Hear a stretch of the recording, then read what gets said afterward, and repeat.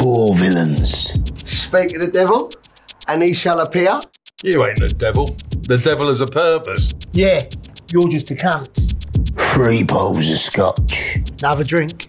I shouldn't really at my age. At your age, you shouldn't be breathing, but here you are. Two grams of Charlie.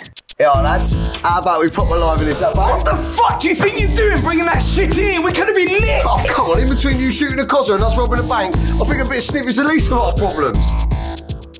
One failed job.